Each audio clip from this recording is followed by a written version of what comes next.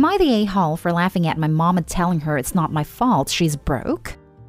My girlfriend's brother owns a small cafe and bakery. It's a relatively new place, but I recommend it to everyone who wants a place to go. Everything there is good quality, and it's very cute. It's worth mentioning that my girlfriend and her brother are very close, and my mom knows this. This past weekend, my mom was in town and decided to visit the cafe with a few of her friends. In the middle of the afternoon while my girlfriend is at work, I got a very distressed, angry phone call from my mom, demanding to speak to my girlfriend. I'm very confused, and I could tell that she was crying, so I tried to calm her down a little before I tried to piece together what happened. Once she's ready, she starts ranting about how terrible the cafe was. She claims that the staff treated her terribly and how my girlfriend's brother embarrassed her in front of her friends. I ask her to elaborate, and she explains that she didn't bring any money to pay because she thought it would be free because she is a friend of the owner. And because she didn't have any money, she was forced to ask one of her friends to pay the bill. To be fair, I found this all a little funny and absurd, so I laughed. Looking back on it, I probably shouldn't have done this, as this really, really aggravated her. She got mad and proceeded to call my girlfriend a terrible person who was never going to be part of the family. I got mad, telling my mom that it's not my fault that she's broke. After that, she hung up. I thought it was fine, but then I found out that my mom left a pretty bad review on the cafe's website, harassed the cafe, and left my girlfriend a string of badly written text messages. I feel bad because I don't want my girlfriend or her brother to suffer because of my actions. Edit. I've apologized to my girlfriend and her brother for my mom's behavior. My girlfriend doesn't blame me, but I still feel terrible. Not today home. But you should really have a talk with your mother about how trash her behavior was, considering no one had ever said she would get a free ride there. Also, I would more likely apologize to your girlfriend and her brother about your mother's behavior. I'd work on getting her to apologize and take the review down. Yeah, no. I have no idea how she thought she would get a meal for several people on the house because she vaguely knows the owner. I don't think I've even got any free drink there. I've already apologized to my girlfriend and her brother. I feel so, so bad for the both of them. Constant free stuff from small places quickly causes those places to go broke. She was trying to show off and got embarrassed instead. That's a life lesson. I have two friends who have owned restaurants. One friend made it very clear from the beginning that there would be no freebies or discounts for friends. The other gave free stuff and discounts to anyone with the tiniest connection to him. Oh, you're my second cousin's dog groomer's landscaper's wife. So, free apps for the table. Guess which restaurant closed during the pandemic because it was too far into the red? Lol, no. Your mom is an entitled a-hole though for assuming she can just get freebies, then be so offended when told to pay up. What adult leaves the house with nothing? Is it not only no cash but no debit or credit card? Maybe it's just me, but I think I have a fiver on me just to take the trash out, just in case. Also, I'm wondering, did mom think just she could get a free coffee and cupcake? Or was she thinking she could bring herself and friends for a free party? I'm wondering if that was why she was super embarrassed. Like she promised her friends, let's go and all get free goodies. She expected both her and her friends' meals to be free. She also encouraged them to order as much as possible, and she was under the impression that it was on the house, which, even if it was, is still a trashy thing to do. So when the check came and she discovered that she had to pay, it was pretty humiliating and embarrassing. Next story is titled Am I the a-hole for not sharing the role of mom at Mother's Day with my kid's stepmom? I have two kids, ages 11 female and 9 male. Ex and I were young parents and broke up the day our son was born. He married his wife Kate when our kids were 4 and 2, and it's been a wild ride. When X first married Kate, he filed to change our custody plan to 50 50, which wasn't possible before because he worked as a truck driver and was away a lot. He wanted the kids at his house with Kate, even if he wasn't going to be there. The judge rejected it, and the custody remained in place for another two years, until he left that job so he could have more time with the kids. Then custody went to 50 50. Ex and Kate have always referred to her as Mom Kate, but the kids call her Kate. When custody went to 50 50, Ex asked me to split Mother's Day with them so the kids could celebrate with both moms equally. I said no. I got Mother's Day just like he got Father's Day. It caused some tension, but I had a court order to back me up. There has been tension and drama over how the kids refer to Kate, their relationship with her versus their relationship with me, and how I have never accepted shared mom role with Kate. The truth is, I've always felt like she's secondary to me and my ex. Still an active part of their lives, still has her opinions and requests, but that ex and I are the should be dealing with the nitty gritty stuff. Then I found out six weeks ago that ex has asked the kids twice to ask me to let them go to his house for half of Mother's Day. It came up when my son told me that their dad asked them to tell me we needed to talk about Kate being their mom. He asked me what I wanted them to tell their dad, and I said nothing, that I would talk to dad and they didn't need to. Ex then told me he was surprised they said anything, since they obviously never asked to go there for Mother's Day, and how we always waited for them to say that they hadn't done it either time.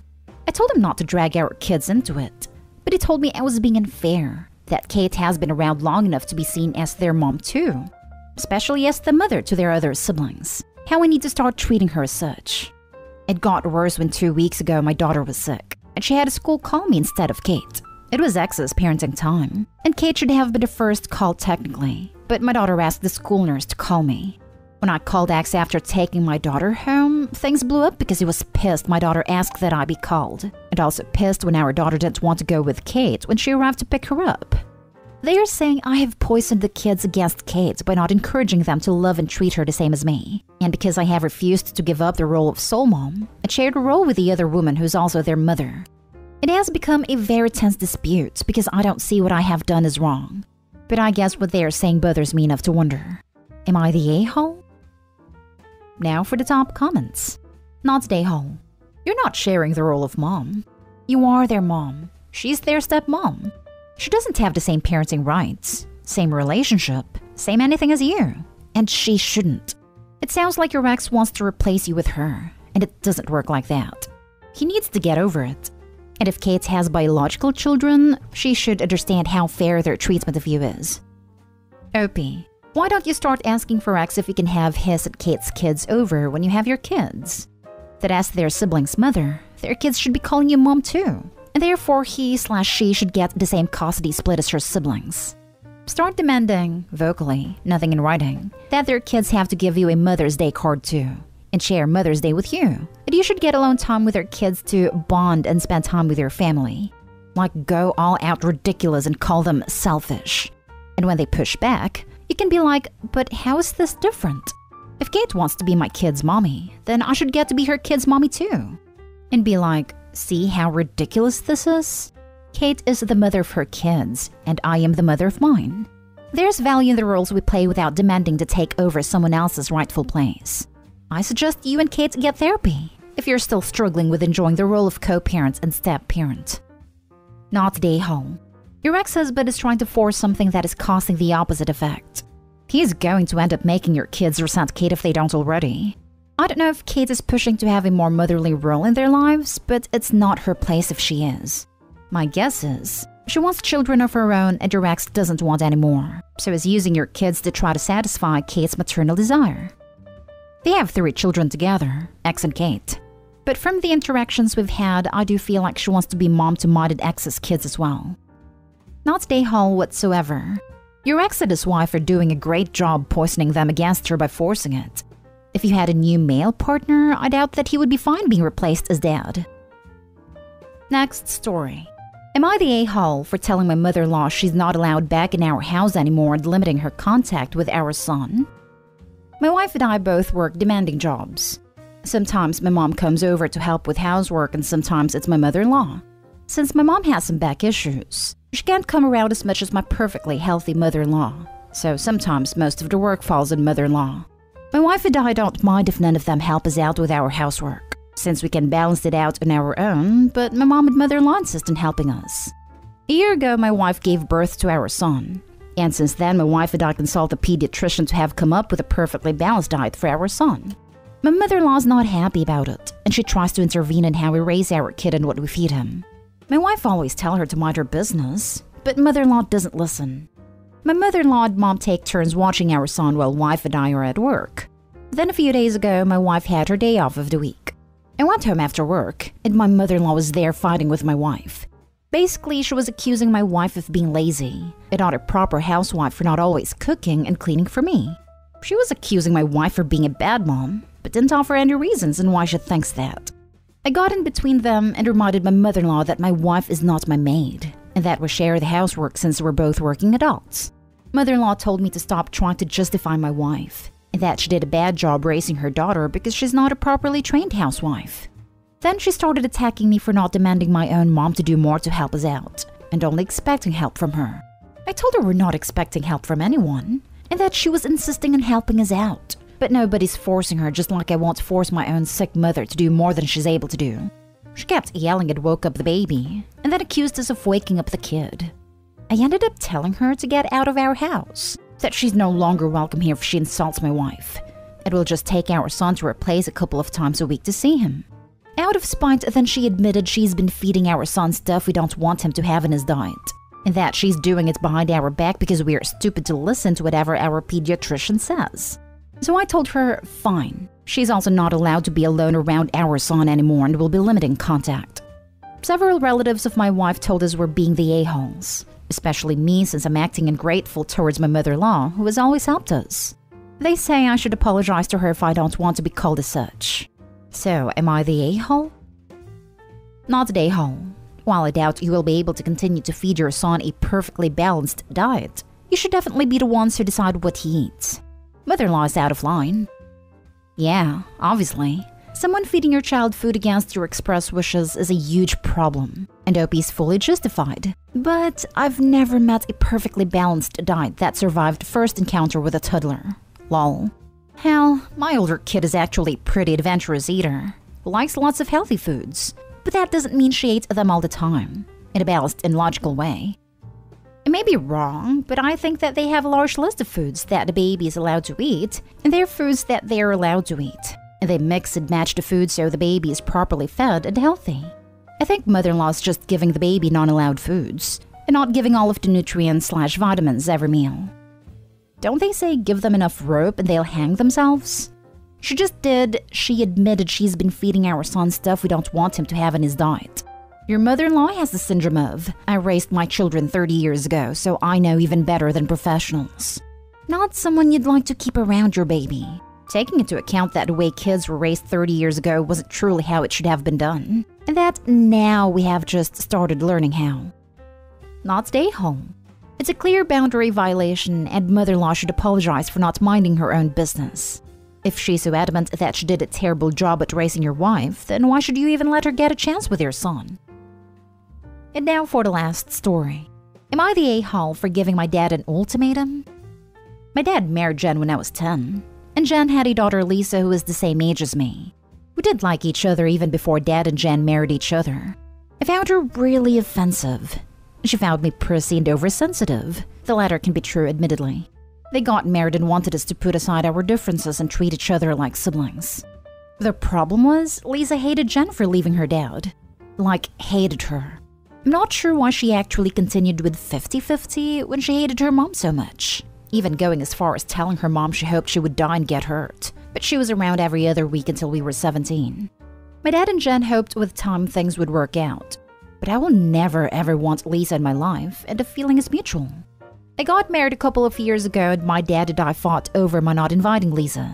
And now I'm expecting my first child, and the discussion has come up again. He keeps bringing it up, but I have told him it won't happen and to stop asking slash demanding.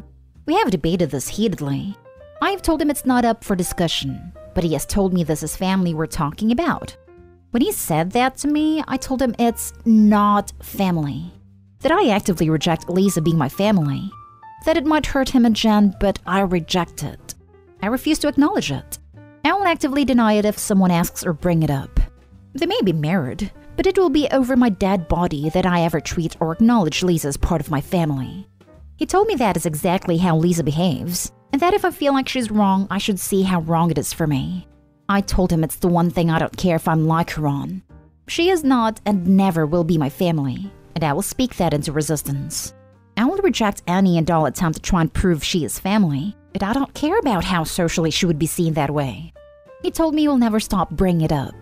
That especially with the new generation of the family being started, it's important.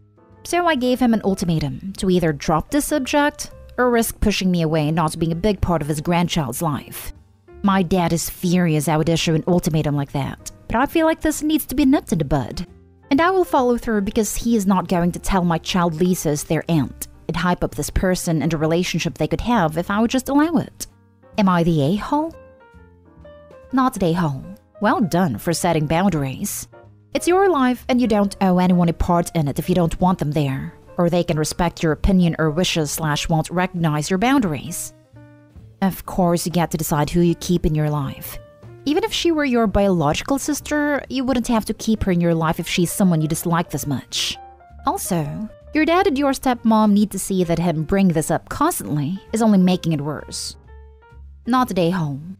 I haven't talked to my blood brother in damn well 15 years. And the family got the same ultimatum. I can cut everyone off just as easy. Very few things we should be selfish about. But if someone being a part of your life makes you miserable, then they shouldn't be a part of your life. It's that simple. If Lisa is so full of hate, how can your father justify bringing that toxicity into your child's life?